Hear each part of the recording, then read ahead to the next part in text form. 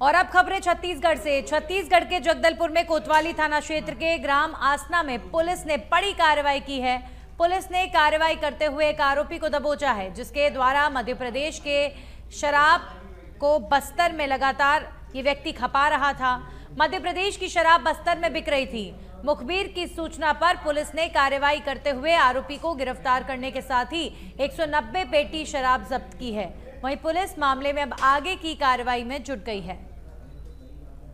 बस्तर जिला बस्तर में थाना कोतवाली क्षेत्र में ग्राम आसना में कल आज एक बड़ी कार्रवाई की गई जिसके अंदर अवैध शराब करीबन 190 पेटी जो कि लगभग कीमत 12 लाख बयासी हज़ार के आसपास है वो कल सीज की गई है।